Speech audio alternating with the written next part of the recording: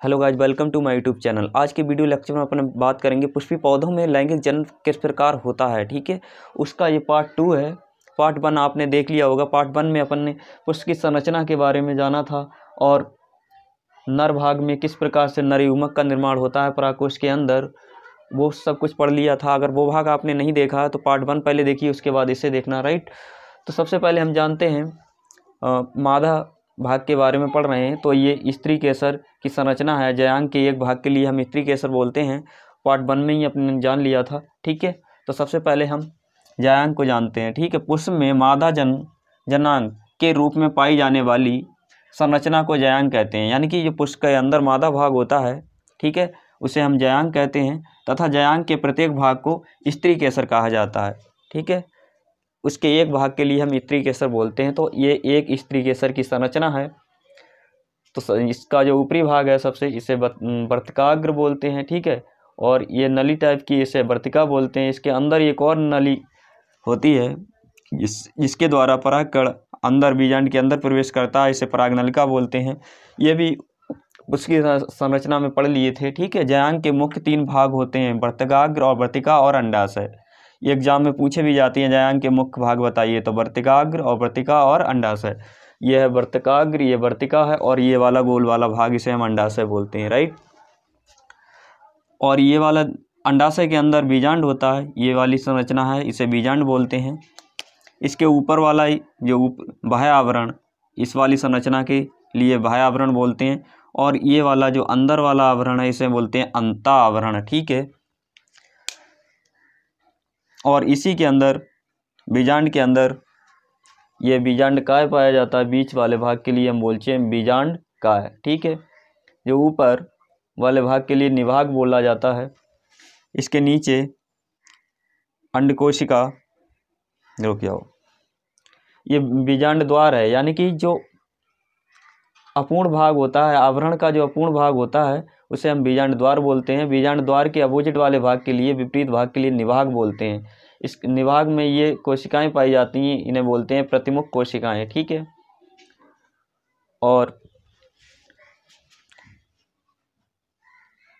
इस वाले भाग के लिए, जहाँ पर ये आवरण जुड़ता है, ठीक है? अंड, बीजांड द्वार, बीजांड जो जुड़ा होता है जिससे, जिस जगह से जुड़ा होता है अंड कोशिका से, अंडाशय से जिस जगह जुड़ा होता है, उसे हम बोलते हैं बीजांड व्रंत बीजांड व्रंत ठीक है? जो अंडाशय से बीजांड जिस जगह पर जुड़ा होता है, उसे हम बोलते हैं बीजांड व्रंत ठीक है? यह है इसके कुछ इस तरीके से इसकी संरचना, इसके मेन मेन भाग हैं।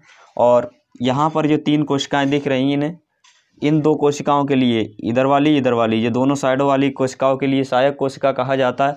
और ये बीच में एक कोशिका है, ये वाली इसके लिए बोलते हैं अंड कोशिका इसी के अंदर मादा युग्मक का निर्माण होता है। एक एक के बारे में जानेंगे धीरे धीरे बीजांड। अंडाशय में बीजांड बीजांड व्रंत द्वारा जुड़ा होता है।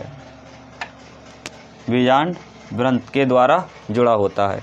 ये इस जगह पे जुड़ा हुआ है, इसे बोलते हैं बीजांड व्रंत ठीक है? तो बीजांड कहाँ किससे जुड़ा होता है? बीजांड व्रंत से। ठीक है, ये बीजांड है, ये बीजांड व्रंत से जुड़ा होता है। उसके बाद है हमारा। बीजांड में दो आवरण होते हैं। एक तो बाह्य आवरण, दूसरा होता है अंता आवरण। बीजांड में कितने आवरण है? दो आवरण। एक जो बाह्य भार वाला हिस्सा है, इसे हम बाह्य आवरण बोलेंगे। इसके अंदर जो आवरण है, इस वाले के लिए हम बोलेंगे अंता आवरण। ठीक है, बीजांड द्वार क्या है? अब इसे जानते हैं। बाह्य आवरण तथा अंता आवरण जिस स्थान पर अपूर्ण होते हैं, उस स्थान को बीजांड द्वार कहते हैं। ठीक है? यानी कि जो अंता आवरण और बाह्य आवरण जिस स्थान पर अपूर्ण है, यहाँ पर अपूर्ण है, देखो, ठीक है? तो इसे हम क्या बोलेंगे? बीजांड द्वार। तो हम मैंने लिख दिया इधर बीजांड द्वार, ठीक है?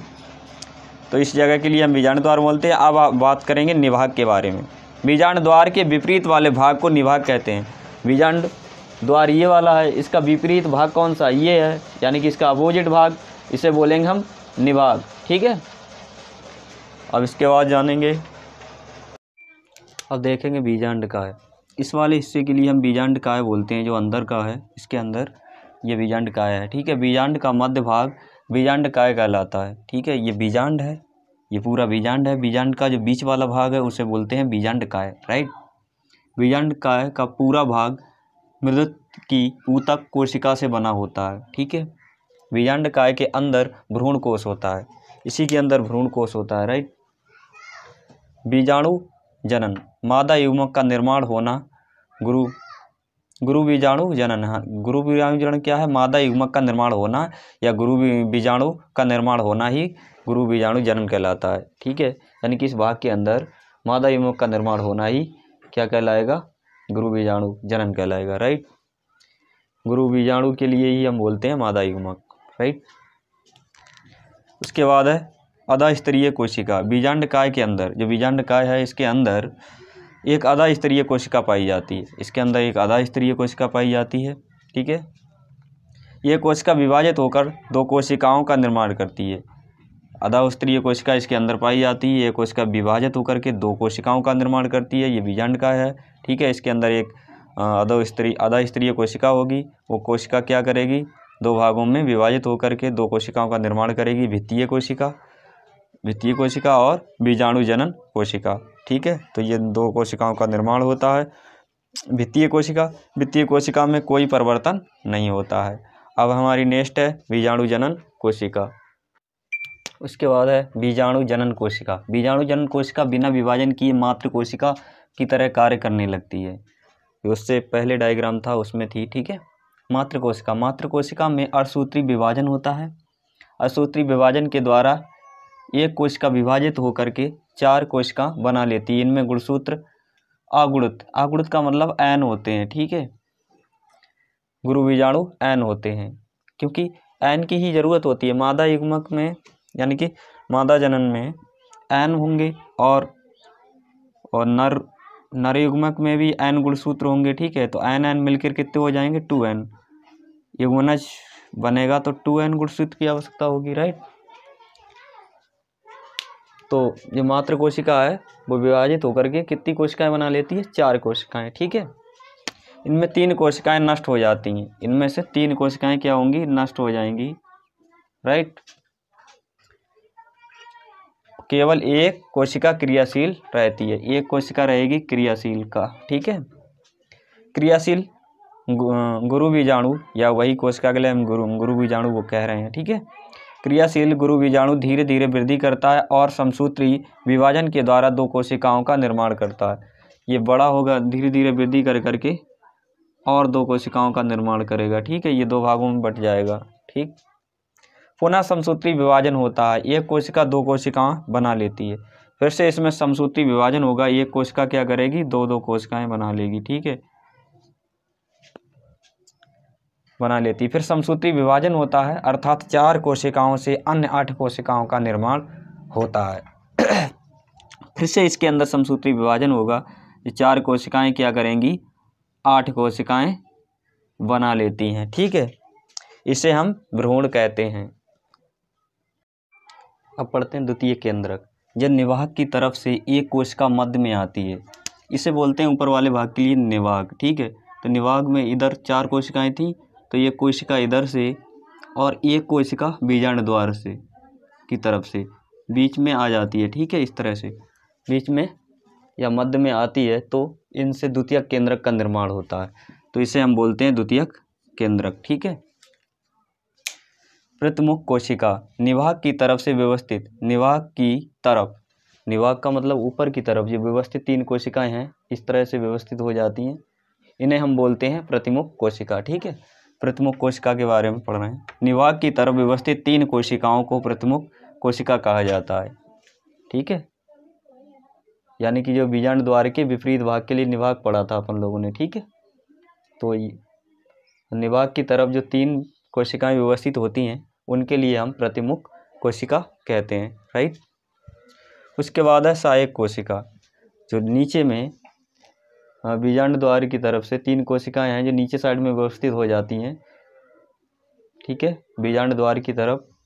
तो इनमें से जो साइड वाली, किनारे वाली दो कोशिकाएँ हैं, इन्हें हम सहायक कोशिका कहा जाता है। ठीक है? जो साइड किनारों पर एक ये वाली और एक ये वाली, इन्हें सहायक कोशिका कहते हैं। ठीक है? सहायक कोशिका। बीजांड द्वार की तरफ़ तीन कोशिकाएँ व्यवस्थित होती हैं। ये तीन कोशिकाएँ हैं। ये बीजांड द्वार की तरफ़ व्यवस्थित होती हैं। जिनमें मध्य में स्थित एक कोशिका को छोड़कर शेष दो कोशिकाओं को सहायक कोशिका कहा जाता है। मध्य में, यानी कि बीच वाली कोशिकाओं को छोड़ करके इन दोनों के लिए हम सहायक कोशिका कहते हैं। जो बीच में पाई जाती है, उसे हम बोलते हैं अंड कोशिका, ठीक है? इसी में मादा युग्मक का निर्माण होता है। अंड कोशिका, बीजांड द्वार की तरफ़ व्यवस्थित होने वाली कोशिका के बीच में स्थित कोशिका को अंड कोशिका कहते हैं। इसे ही, इसमें ही, ऐसे लिख लो, इसमें ही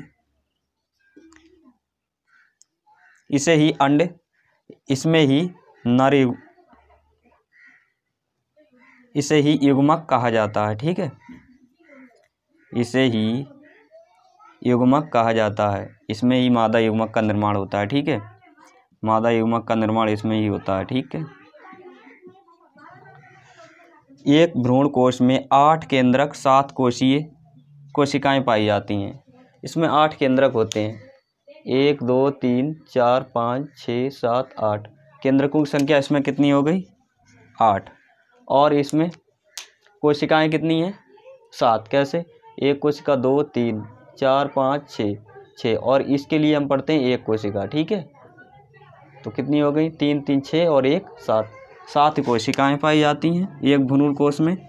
और आठ केंद्रक पाए जाते हैं। क्वेश्चन पूछा जाता है, एक भ्रूण कोश के अंदर कितने केंद्रक पाए जाते हैं और कितनी कोशिकाएँ तो आठ कोशिकाएँ पाई जाती हैं सात और केंद्रक होते हैं आठ। इससे काउंट करते हैं, एक, दो, तीन, चार, पाँच, छः छः, एक, सात। कोशिकाएँ कितनी हो गई? सात। केंद्र कितने हैं? एक, दो, तीन, चार, पाँच, छः, सात, आठ। आठ केंद्रक, सात कोशिकाएँ, ठीक है? तो ये मतलब यहीं पर समाप्त होता है। और शेष बचा हुआ पार्ट्स हम भाग तीन में कवर करेंगे। तो हम आशा करते हैं कि आपको ये वीडियो पसंद आया होगा। पसंद आया तो लाइक करें और चैनल फ़र्स्ट टाइम विज़िट कर रहे हैं तो चैनल को सब्सक्राइब करें, साथ ही बेल आइकन को भी हिट करें, जिससे आने वाले हर वीडियो का नोटिफिकेशन आपको मिलता रहे बिल्कुल टाइम पर। तो धन्यवाद गाइज़